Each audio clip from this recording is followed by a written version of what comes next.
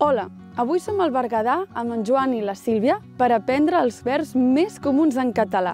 Avui us ensenyarem els 50 verbs i veurem els seus usos i la seva conjugació. Preparats? El primer verb és... Conèixer. Coneixes Grogers, que és avià, que té un estany molt bonic? No, la veritat és que no ho conec. Buscar. Doncs busca-ho al mòbil. Escriure. Doncs has d'escriure el Berguedà, Grogers o el llac de Grogers. Uh -huh, així? Uh, bé, diem Grogers, però s'escriu Graugers, amb G. Ah, Anar. Podríem anar-hi, no? sí, sí, anem abans que es faci fosc.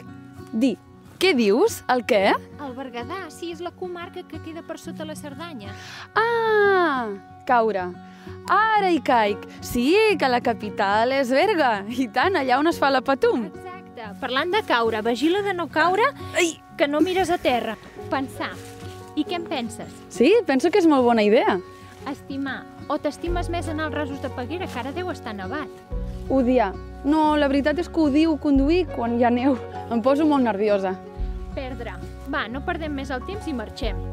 Entrar. Així doncs, entra al cotxe i som-hi.